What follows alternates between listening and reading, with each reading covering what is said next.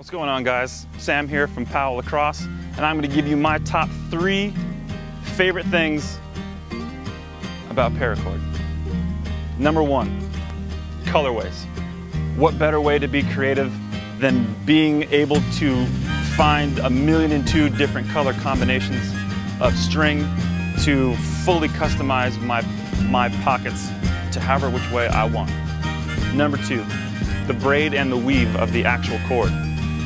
Because it's so tight, it's it's got a really smooth feel to it, which saves my, my hands from when I'm stringing a lot. And two, it's less abrasive when it comes in contact with the mesh, the plastic, or when it's cutting up against itself.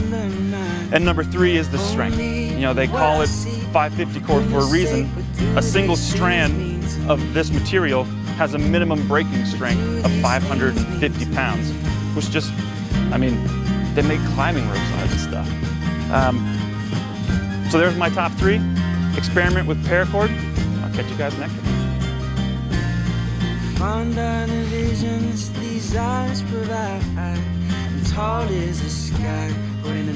For one thing, it really saves my hands.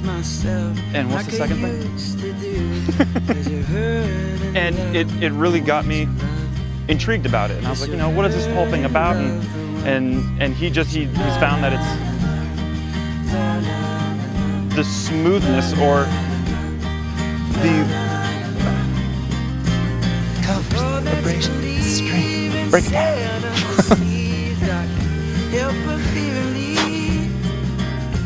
by the